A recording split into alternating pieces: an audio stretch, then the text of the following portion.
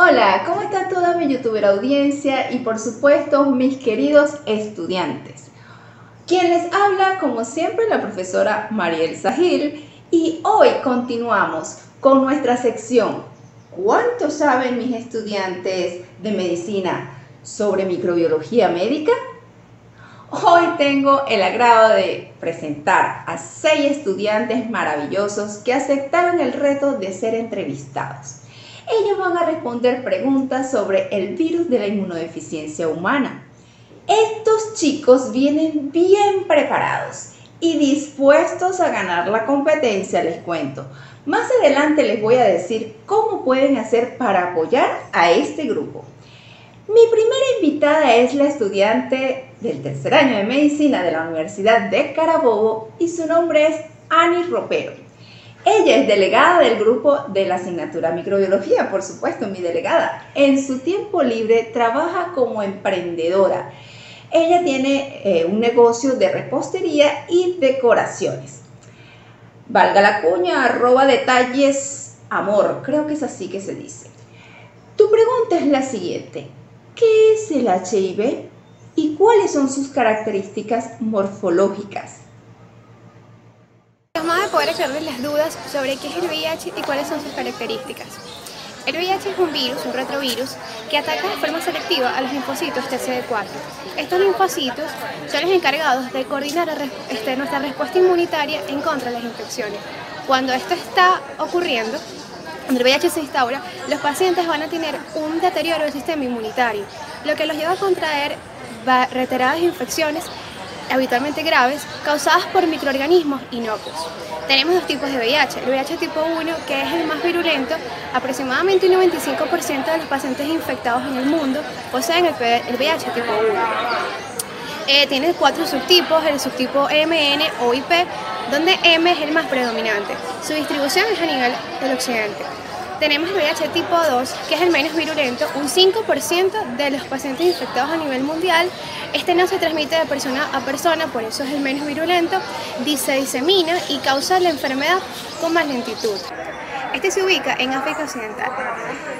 Pertenece a la familia retrovirus, ya que su información genética se encuentra en forma de ARN y se transcribe en ADN en la célula del huésped.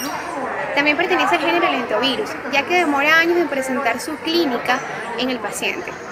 Su reservorio natural es en los primates, pero estos no desarrollan la enfermedad. Su origen mm, en humanos es por una zoonosis entre los primates y los humanos en África. Las características estructurales del VIH. Mide 100 nanómetros de diámetro, es de forma esférica y tiene una capa lipídica que lo protege, derivada de las células del huésped y de unas glicoproteínas como son el GP120 y la proteína transmembrana GP41. Los virus infecciosos son conocidos como los virones y poseen tres capas estructurales, como son la matriz P17, que es la capa más externa y se encuentra con la envoltura, la cápside P24, que es la que forma el centro cónico que protege al ARN, que lo envuelve, y la nucleocláxide P7, que es la que interactúa con el ARN dentro de la cápside. Dentro de la cápside tenemos a el genoma viral, que está compuesto por dos cadenas de ARN y tres enzimas, como es la transcriptasa reversa, la integrasa y la proteasa. El genoma viral posee tres genes estructurales, como es el gen GAP, que es el que se encarga de codificar a la proteína P24, el gen POL, que codifica las tres enzimas como la transcriptasa reversa, la integrasa y la proteasa, y el gen M, que se encarga de codificar la estructura viral, que está compuesto por el GP120 y GP41. Excelente respuesta, Ani. Gracias por estar aquí. Nuestra próxima invitada es María Rosso, estudiante del tercer año de medicina de la Universidad de Carabobo y ella también es estudiante de idiomas modernos en Fundauce. Eh, tu pregunta es la siguiente. ¿Cuáles son los mecanismos de transmisión del VIH? ¿Y cómo se replica el virus dentro de la célula? Buen día, gracias por la invitación.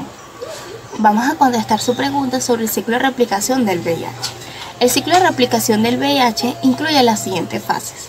Una fase de adhesión donde una vez cerca del linfocito T ayudador CD4 reconoce la molécula CD4 y se une a ella a través de la glucoproteína GP120 de la envoltura viral, los anticuerpos contra la proteína de la envoltura viral o el receptor celular van a bloquear esta interacción y prevenir la infección. A continuación, se establece la función de la envoltura viral con la membrana celular. Como resultado de esto, el virión va a perder su integridad y su morfología característica. El ARN viral es liberado en el citoplasma junto con las moléculas de transcriptasa inversa. Posteriormente, la transcriptasa inversa sintetiza una molécula de ADN complementario a partir del ARN viral. Luego, la enzima sintetiza la segunda cadena de ADN y genera una molécula de ADN de doble cadena. Después vamos a contar con una fase de integración donde la molécula de ADN es transportada hacia el núcleo y se integra al genoma de la célula huésped, convirtiéndose en un provirus donde puede permanecer latente por un periodo variable. Cabe destacar que esta reacción es codificada por la enzima integrasa. Después vamos a contar con una fase de síntesis de los virus hijos. En esta fase, el ADN viral es transcrito a ARN mensajero por la ARN polimerasa de la célula huésped. Después de la transcripción de algunas moléculas de ARN viral, son usadas como mensajero para la síntesis de proteínas virales. Cabe destacar que el ensamblaje ocurre en la superficie celular donde las proteínas estructurales se ensamblan con el genoma y adquieren la envoltura por el pasaje a través de las membranas citoplasmáticas.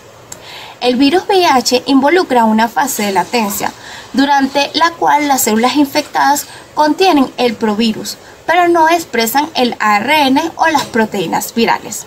Estos provirus contienen señales que pueden iniciar la expresión cuando las células infectadas por el virus son estimuladas por el antígenos o algunos otros virus, hongos o bacterias. Esta es la razón por la cual después de la infección de los linfocitos y de la integración del provirus, el proceso infeccioso puede detenerse y puede ser reiniciado después de una manera explosiva por otros estímulos que son desconocidos. Ahora vamos a contestar su pregunta sobre los mecanismos de transmisión del VIH. El VIH puede transmitirse únicamente por relaciones sexuales. Estas pueden ser relaciones heterosexuales, homosexuales y bisexuales. El recibir sangre y sus derivados u órganos de una persona con VIH o SIDA es otro de los mecanismos de transmisión. También el compartir jeringas sin esterilizar antes de usarse nuevamente, como es en el caso de los drogadictos. Otro de los mecanismos de transmisión puede ser el accidentes laborales en personas de salud o pinchazos con agujas, catéteres u otros instrumentos contaminados con sangre o fluido del paciente con VIH. También está la transmisión vertical en el embarazo de una mujer infectada con VIH a su hijo durante la gestación, en el parto o la lactancia. Muchas gracias. Muy bien, excelente respuesta María. Ahora es el turno de Saidali Rosendo. Ella es estudiante del tercer año de medicina de la Universidad de Carabobo y además es operadora de la primera rotación del Comité de Atención y Servicios de la Universidad de Carabobo. Doctora Yelixa Castillo, esta fundación brinda atención a pacientes con sospechas de infección por el COVID-19. Por cierto, excelente labor la que realizan estos chicos, la verdad debo decirlo, han orientado a muchísimas personas que han comenzado con los síntomas y Dios los va a recompensar por tan loable labor. Tu pregunta, Saidali, es la siguiente. Una vez que ingresa el virus al organismo, ¿qué consecuencias sufre el sistema inmunitario de esa persona que está enferma? ¿Y cómo hacemos para diagnosticar? Muchas gracias, licenciada María Elsa, por su cordial invitación a esta nueva sección o segmento de su canal, el cual pues usted ha utilizado muy bien y de manera excepcional para continuar formándonos como estudiantes de medicina a pesar de todas las adversidades que hemos estado transitando en, este, en esta situación de esta pandemia por el COVID-19. Con respecto a su pregunta, quisiera eh, focalizar que la acción directa del virus de inmunodeficiencia humana se, se, produce sobre la célula más importante del sistema inmunitario, la cual es el linfocito TSD4. Este linfocito es el que se encarga de controlar y gerenciar todas las respuestas inmunitarias del paciente. Y en este caso, lo que realiza, los efectos que realiza sobre estas son diversos, empezando por el hecho de que eh, una vez que este virus ingresa a la célula y utiliza la maquinaria de la misma célula para replicarse, cuando éste ya se ensambla y sale de la célula puede producir la muerte de la misma.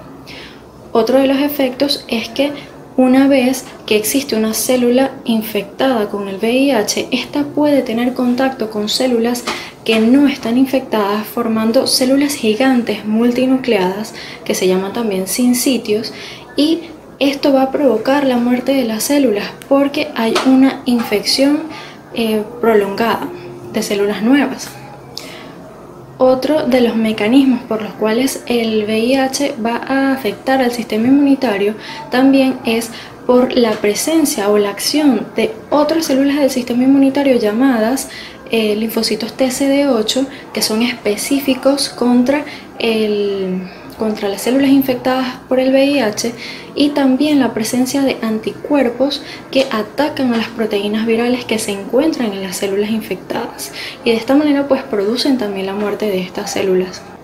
Por último, todos estos efectos que genera el virus de inmunodeficiencia humana sobre las células del sistema inmunitario es la respuesta eh, inmunitaria deficiente o débil del linfocito TCD4. De esta manera, aunado a la presencia de las infecciones oportunistas que se generan en estos pacientes que, tienen, que están infectados con el virus de inmunodeficiencia humana, pues permiten la eh, inmunosupresión o la depresión del sistema inmunitario diagnóstico lo primero que debemos realizar es la identificación del momento del contacto de riesgo donde se pudo haber producido la infección por el VIH. Y en base a esto tenemos diversas pruebas que nos pueden ayudar al diagnóstico, entre las que vamos a destacar en primer lugar la prueba ELISA, que es el ensayo inmunoabsorbente ligado a enzima, en el cual se van a identificar anticuerpos específicos contra el VIH. Otra de las pruebas, que es la que se utiliza para la confirmación de la infección por esta enfermedad, es la prueba del Western Blot.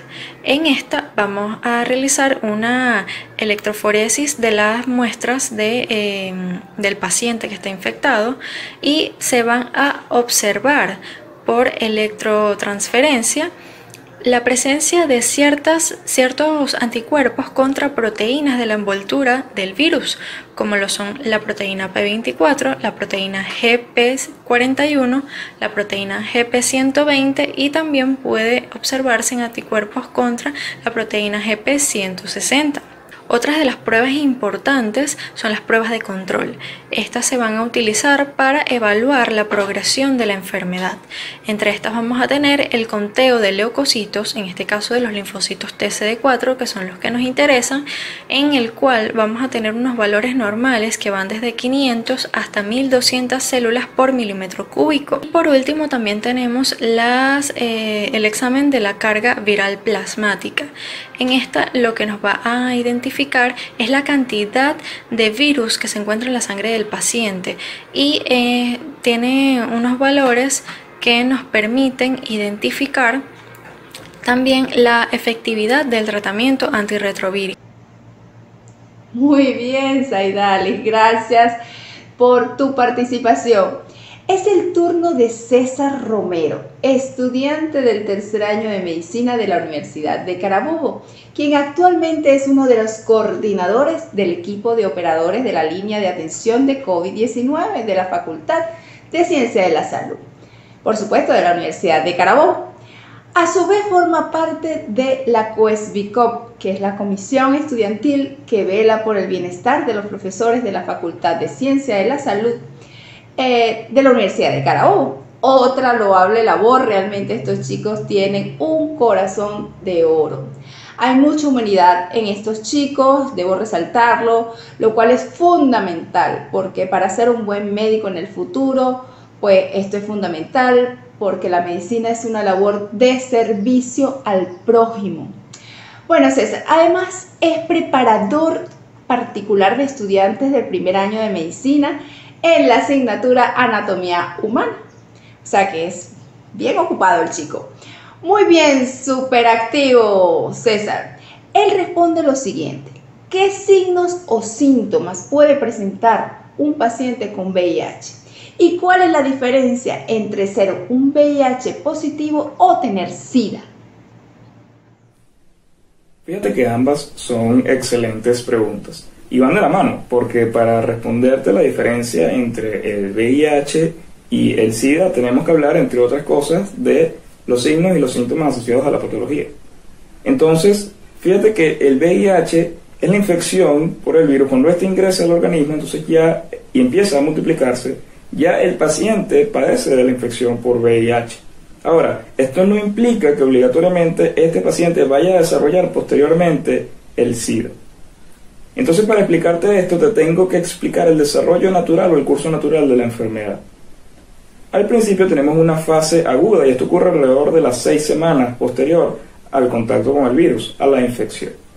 En esta fase, que puede ser sintomática o no, y en el caso de que lo sea, solamente tenemos síntomas que son inespecíficos y leves, incluso se asemejan a los de la gripe común. Entonces te estoy hablando de malestar general, de cefalea, de fiebre, puede haber dolor articular, entre otros. Luego entramos en el curso natural de la enfermedad en un periodo de latencia. En este periodo de latencia es asintomático y pueden pasar desde 8 a 10 años en este periodo de latencia donde si el paciente no es tratado, es que puede desarrollar el SIDA, que es el periodo ya terminal de la enfermedad, donde el virus ha afectado totalmente el sistema inmunológico, el mismo está totalmente comprometido y ya no puede incluso batallar con lo que se denomina las infecciones oportunistas. Las infecciones oportunistas son aquellas que en condiciones normales a nivel inmunológico no van a afectar al paciente. Esos son microorganismos que no causan enfermedad. Sin embargo, en estas condiciones de inmunodeficiencia total, donde el virus ha tenido todo el tiempo necesario para afectar al sistema inmunológico, entonces ya el mismo no puede combatirlas. Y empiezan a haber signos y síntomas asociados a infecciones oportunistas que pueden estar en distintos eh, órganos y sistemas. Entonces estoy hablando del sistema nervioso central, donde puede haber, por ejemplo, meningitis. Te estoy hablando del sistema respiratorio, donde puede haber neumonía. Te estoy hablando del sistema digestivo, donde puede haber infecciones digestivas a repetición causantes de diarrea, por ejemplo. Y te estoy hablando de infecciones en la piel múltiples, entre ellas, por ejemplo, el VPH. Entonces fíjate que para llegar a el SIDA, tenemos que haber pasado por un largo periodo posterior a la infección por VIH y sin tratamiento para que lleguemos a ese periodo terminal de la enfermedad. Así te he explicado cómo se diferencian y al mismo tiempo te he dicho cuáles son los signos y los síntomas asociados a la patología. Gracias César por tu gran respuesta. Ahora le toca el turno a Luis Salazar delegado del grupo en la asignatura Semiología del tercer año de Medicina en la ciudad hospitalaria Dr. Enrique Tejera. También trabaja a tiempo parcial como trader y es exjugador profesional de ajedrez. No se lo pierdan. Estos chicos realmente son extraordinarios. Me he quedado pues anonadada con ellos. Tu pregunta es la siguiente. ¿El VIH-Sida tiene cura? ¿Cuál es el tratamiento de los pacientes que padecen de esta infección? Bueno, de verdad, muchas gracias por recibirme y a pesar de que nunca fui uno de los mejores estudiantes de su materia, agradezco poder responderle estas preguntas que son de vital importancia a nivel histórico. Imagínense responder estas preguntas no hoy, sino hace 40 o 50 años, cómo hubiese sido de drástico para la expectativa de vida de las personas que padecían esta enfermedad en ese entonces. Ahora entrando a las preguntas, por más triste que suene de verdad, no existe cura para el VIH actualmente, pero sí existe un tratamiento y se trata del Targa, que es el tratamiento antirretroviral de gran actividad. Este tiene como finalidad disminuir la carga viral del paciente y mantener unos niveles, unos niveles de TCD4 normales o estables para que el paciente pueda llevar una vida cotidiana.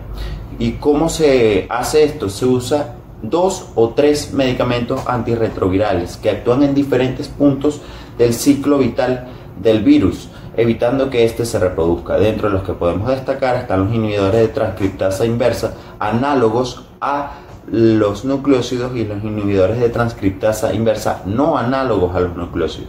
El tratamiento más común actualmente es el atripal, que consta de tres medicamentos que hacen efectos en diferentes puntos del ciclo vital. Ahora, más que el mismo tratamiento como medicamento, hay que establecer al paciente a que tenga un apego al mismo. ¿A qué me refiero? Es decir, que se mantenga en el tiempo, ya que como lo mencioné anteriormente, no hay cura pero si se hace un buen tratamiento, el paciente puede llegar a tener una vida normal, incluso pudiendo tener una carga viral tan baja que puede llegar a tener relaciones con su pareja sin uso de protección y sin el riesgo de contagiar a la pareja.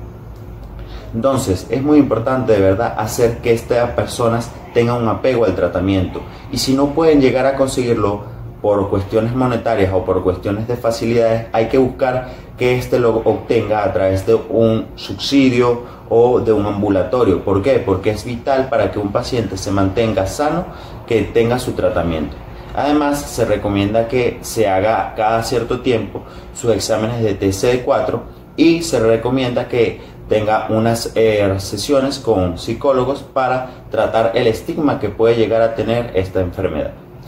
Yo en su tiempo jugaba ajedrez profesionalmente y considero que la lucha contra el VIH es un tablero en el cual nosotros estamos de un lado y el, y el virus se encuentra del otro. Y las piezas que le pertenecen a cada uno, el virus tiene toda la virulencia que él tiene. En cambio, nosotros, nuestras piezas son los medicamentos y la prevención. Entonces, con nuestras piezas podemos ir reduciéndole las piezas al virus, que es el rey contrario, llegando incluso al punto de que éste se quede sin piezas con las cuales puede luchar contra la salud. Entonces, le hacemos un jaque mate al virus. Muchas gracias por las preguntas. Gracias, Luis. Qué modestia la tuya, Luis. No sé por qué dices que no eres bueno en mi materia. De verdad, eres excelente. Tus notas no bajan de 18, 19 y 20. Si eso no es ser bueno, tú me dirás.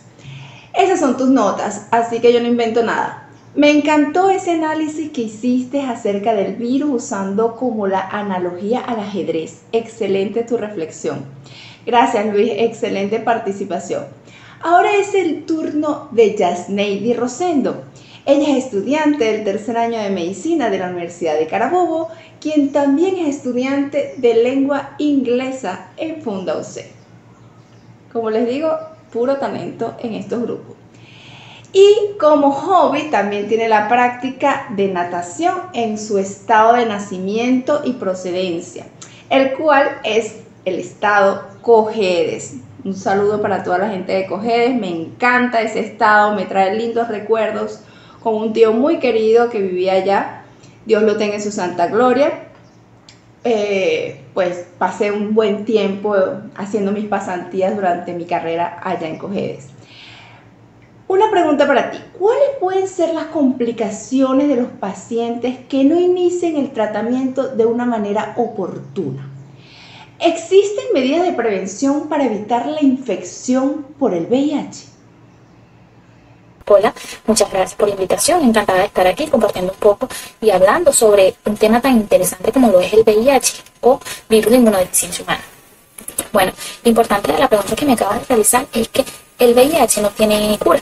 Entonces, los pacientes VIH positivos deben mantener un tratamiento eficaz con antirretrovirales, de manera de que la carga viral la podamos disminuir y no solamente esto, sino también fortalecer el sistema inmunitario, de manera de que se puedan erradicar todas estas enfermedades oportunistas de virus, bacterias, hongos, parásitos, y así tener una mejor calidad de vida. Bueno, esta es otra pregunta muy importante, ya que no solamente va orientada al paciente con VIH positivo, sino también a la población en general, porque sí existen medidas preventivas para disminuir estos riesgos o esta transmisión de VIH y que la principal manera de prevención es la educación sanitaria, que empieza en casa, en la escuela, en la sociedad y que tienen que inculcar cuáles son los riesgos que se tienen con este virus y qué medidas debo tomar.